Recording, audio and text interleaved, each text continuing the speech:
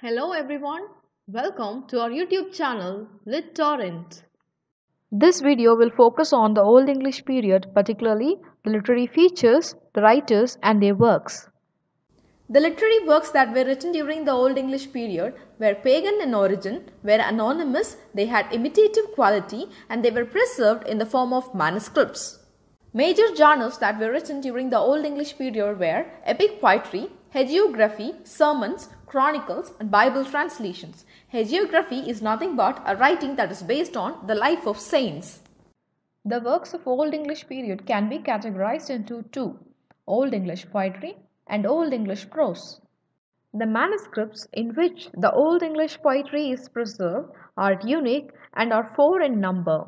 Number one, Cotton Vitellius, which contains Beowulf, but it is partially burnt. Second manuscript is Junius manuscript, which contains Caedmonian poems. Third one is Exeter book, which contains two Cynewulf poems. The last one is Vercelli book, which contains the two Cynewulf poems. Beowulf is the oldest epic that was written in the 7th century AD, and it is said that the author of Beowulf is unknown. The dialect of this text is West Saxon, and the theme of this text is Continental Germanic. Beowulf consists of 3182 lines. Beowulf is the son of Ecgtheow, who sails to Denmark along with his warriors to get rid of a monster called Grendel, who is troubling the Danish king Hrothgar. And Grendel is killed by Beowulf, but Grendel's mother, who wants to seek revenge upon Beowulf, gets into a fight with Beowulf and she is also killed. After slaying Grendel and Grendel's mother, Beowulf returns to his kingdom and becomes the king of Geats and rules it for 40 years. And after that, he gets into a fight with a dragon which attacks his land and his people and he himself receives a fatal wound that causes his death. The poem Beowulf concludes with the funeral ceremonies connected with the death of Beowulf. After Beowulf, we have some pagan poems written during the Old English period. Poem number one, Widsith, which means a far traveler. This poem is usually considered to be the oldest poem in the language and which consists of nearly 150 lines of verse. This poem is all about a traveler who recounts the places he has visited and the people he has met during his travel. Poem number 2, Walder, which consists of two fragments consisting of 63 lines covering the exploits of Walter of Aquitaine. Poem number 3, The Fight at Finnsburg. It's a fragmentary poem written in 48 lines and it presents a description of the fight that took place at a place called Finnsburg. Poem number 4, The Battle of Brunanburh. This is a poem that is based on a famous battle that took place in the year 937 AD. Poem number 5, The Battle of Maldon. It is also based on a battle that took place in the year 993 AD. And this poem, it emphasizes on the individual deeds of valor and bravery and also the feelings of the warriors. Now, let us have a look at some of the elegies that were written during the Old English period.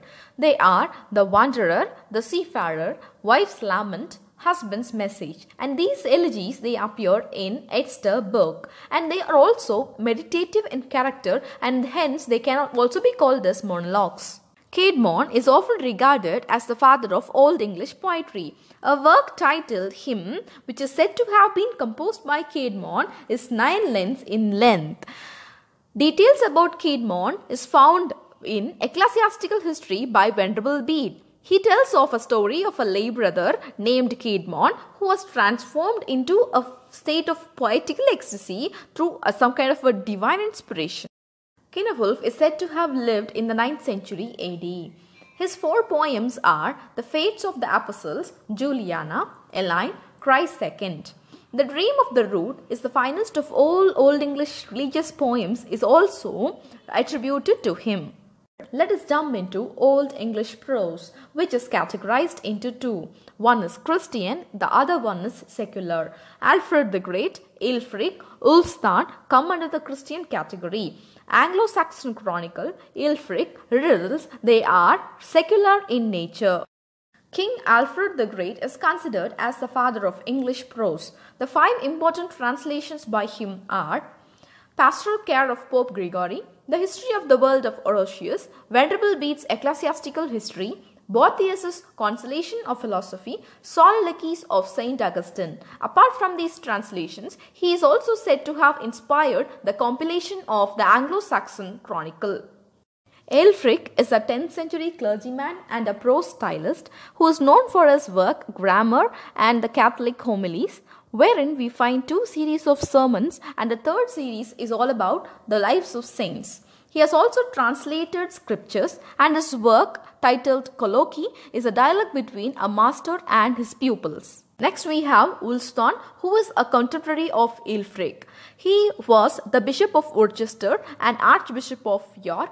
His most famous piece was Sermo Lupi ad Anglos. Next we have the Anglo-Saxon Chronicle. As I have already mentioned, it was inspired by Alfred, Alfred the Great and it was compiled in AD 890. That's all about the writers and works written during the Old English period. If you like the video, do subscribe to our channel for more such videos. Thank you for watching till the end.